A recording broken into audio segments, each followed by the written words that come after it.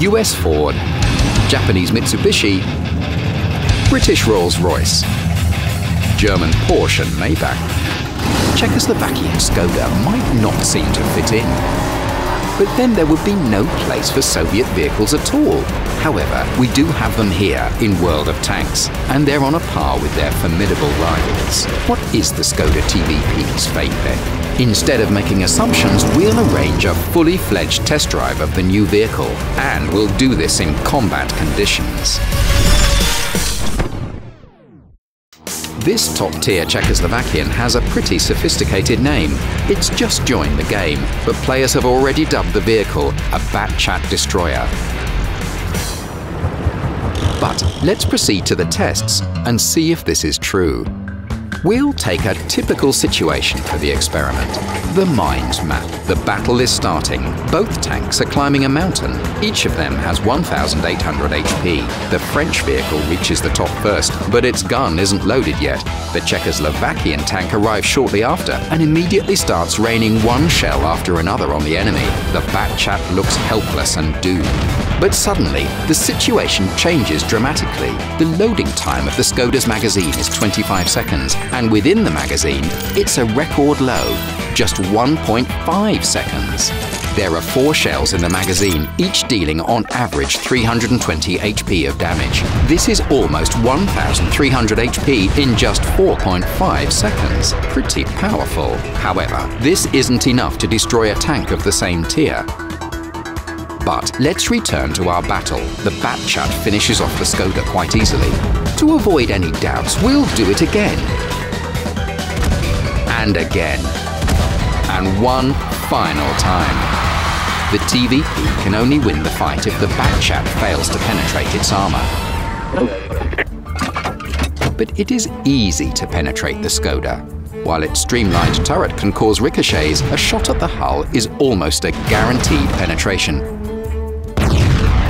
There's only 65mm at the front, and even less at the sides and rear. The magazine is small and the armour is thin. What's the vehicle's key strength then? Let's hold one more experiment. The competitors are the same, the Skoda and the Batchat, but now they have another target, a small and swift RU-251, which can reach a speed of 80 kilometers per hour. It's over 300 meters away. The French tank fires first. Within about 10 seconds, the Batchat has fired five shells and made only two hits. Well, firing at long distances has never been its strong point. Now let's see how the Skoda tackles this task. A direct hit. A second. A third. The next shell slows down the German scout. And this isn't luck.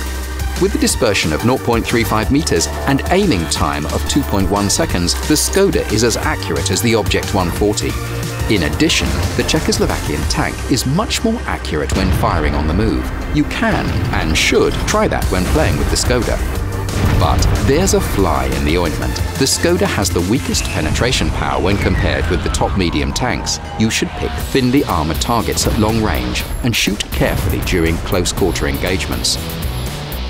Any mistake can be costly. However, 248mm of penetration can punch through the weak spots of an enemy vehicle. As for the equipment, it's better to mount a vertical stabilizer and enhanced gun laying drive. Besides, a 410 meter view range is perfect for using coated optics. Yet, if you prefer a high rate of fire, you should focus on your crew's comfort. Improved ventilation, the brothers in arms perk and Bürkti reduce the gun loading time down to 22 seconds. The happier the crew are, the more effective they are. We could have limited our test drive to a standard phrase. The Skoda is an excellent support tank, but this isn't entirely correct. We haven't told you about the high mobility of the Skoda yet. Its engine provides 1,000 horsepower while the tank weighs 40 tons. This means it's got 25 horsepower per ton. Only the Batchat can boast a better ratio. But the French tank, like many other vehicles, lags behind the Czechoslovakian in terms of maneuverability.